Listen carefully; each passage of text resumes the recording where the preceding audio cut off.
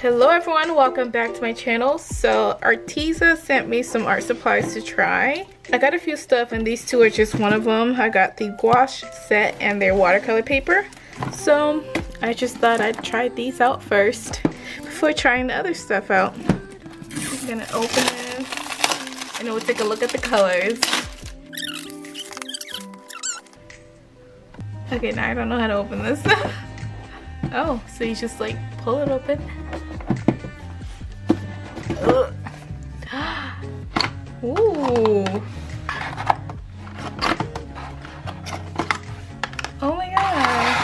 Look at these colors. I love this. There's more. I feel like it's Christmas. There's that. Oh, look at all the greens. Oh, how pretty.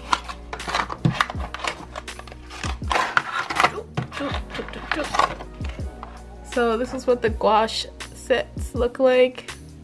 have the colors up here. I don't know anything about gouache by the way. So this one is called Rose. Lilac. I don't think I'll do a swatch of all of these just because it's going to be too much. I'm just going to pick a few and then we'll do quick little swatches. I'm looking at this brown here, super pretty, so I'll keep that. Like a blue maybe. What else do I want to swatch? Purple. Okay, I'll put these away right now. I'm going to be using their watercolor sketchbook. Okay, so where did I leave my brush? Let's go ahead and take a look at this. I have a little mixing palette here. And yeah, let's see what it looks like. Oh. There's that. Oh, this color doesn't match what's on the cap. I was really hoping it was this nice um, brown tone, maybe like a nice skin tone here, but it came out pretty orange. I didn't really check these. Yeah, this one definitely stands out a bit much. Oh wow. The pigment is really nice. And I'm gonna add water to it. Keep adding water to it.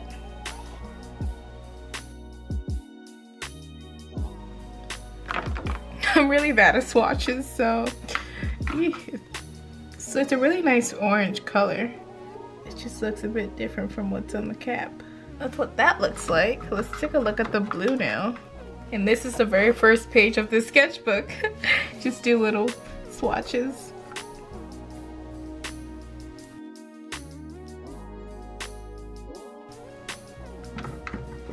Ooh, that definitely changed the color of my water. There's that. I'm gonna move on to the next color right over here. This one's a really pretty color.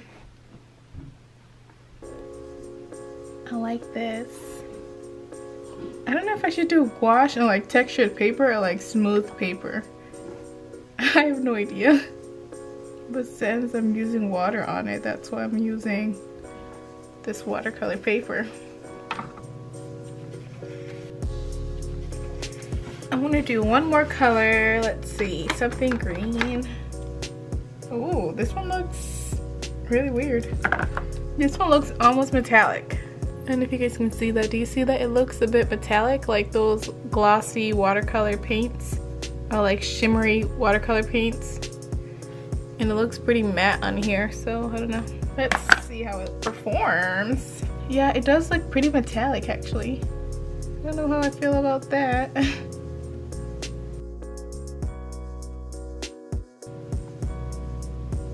so that's what these swatches look like. I'm gonna let them dry and then I'll come back. Wow, this is actually drying pretty fast. Wow. It's pretty dried, okay. It's cool. Okay, so I started looking at the colors and some of these colors definitely do not match what's on the cap. So this one here was supposed to look like that, but this is what it's coming out looking like. And also, and this one here is supposed to be a brown color like that, but in here is a pretty red color. a really nice red color.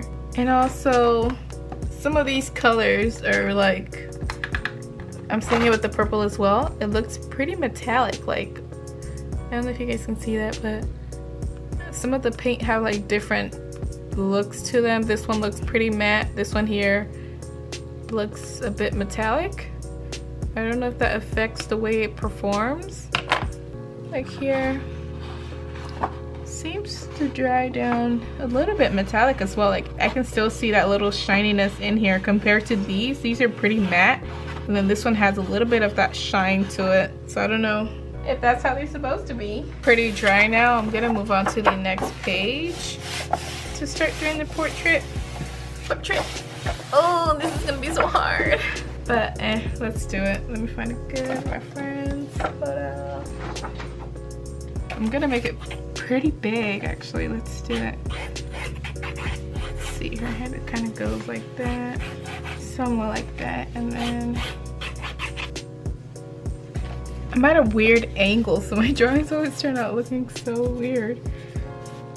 I should probably be sitting on something because I'm like really short.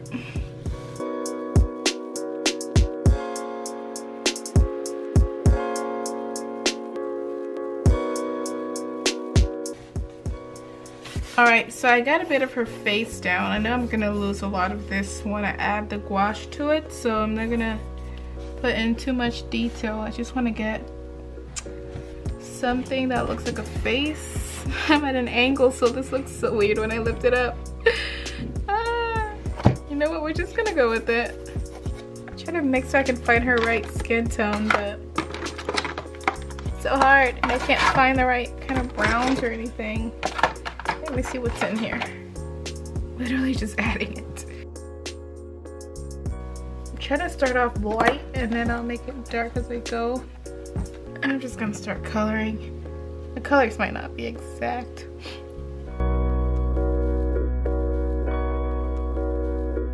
I've made her skin way darker than it's supposed to look, but eh, we'll just go with it.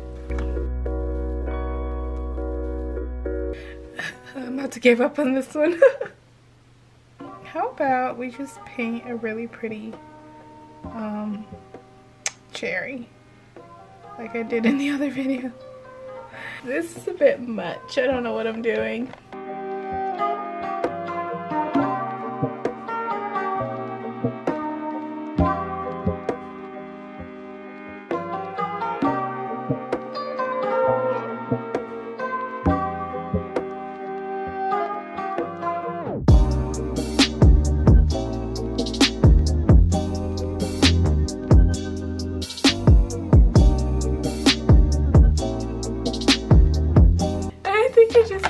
You know what? I'm just, I'm just gonna stop right here and I'm gonna draw something simpler than this. It's just not turning out like I want it to, so something. Okay, so this is dried. Let's move on to the next page and see what we're gonna do again. Kind of want to draw a cherry since they're pretty easy to draw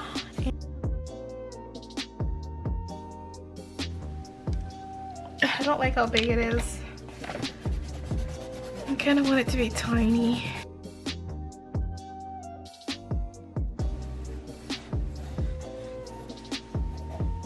Got my cherry down. Does that look like a cherry? Probably not. That looks so weird.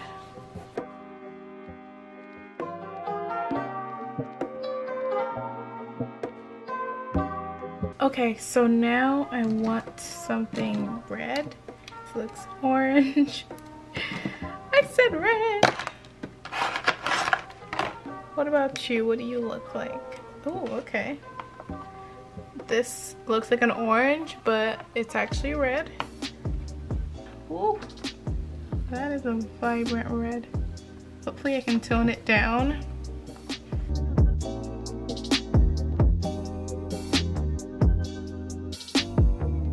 If it starts looking at like an apple, I'm just gonna call it an apple.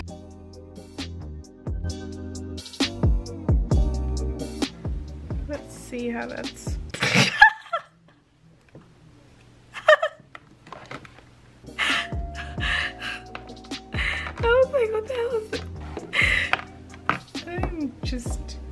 dead. Let's just scoop that up and put it here. oh my god.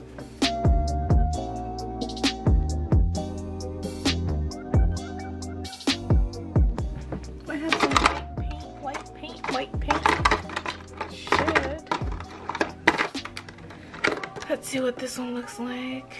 It looks white.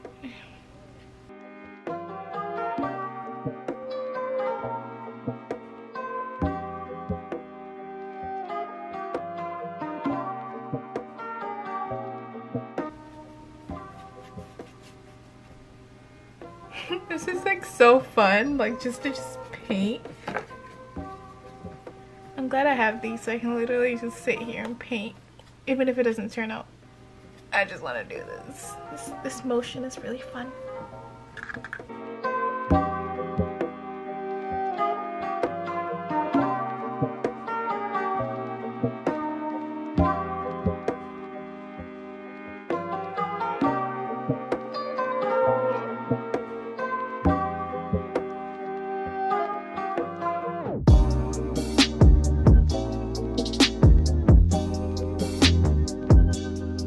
That is pretty much it for today's video. Thank you guys so much for watching. I hope you guys like today's video.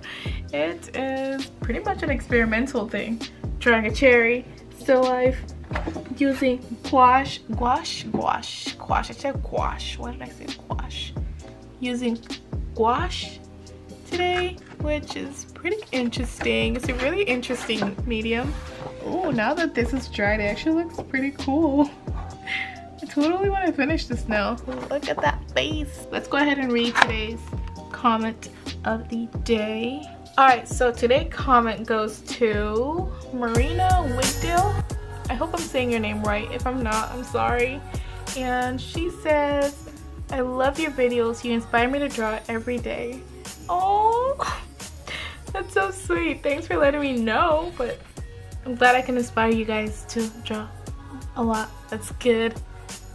I didn't know what to say. but thank you so much for your comment. I really appreciate it. So that is pretty much me using the Arteza gouache paints. I hope you guys liked today's video and I will see you guys in the next one. Bye guys!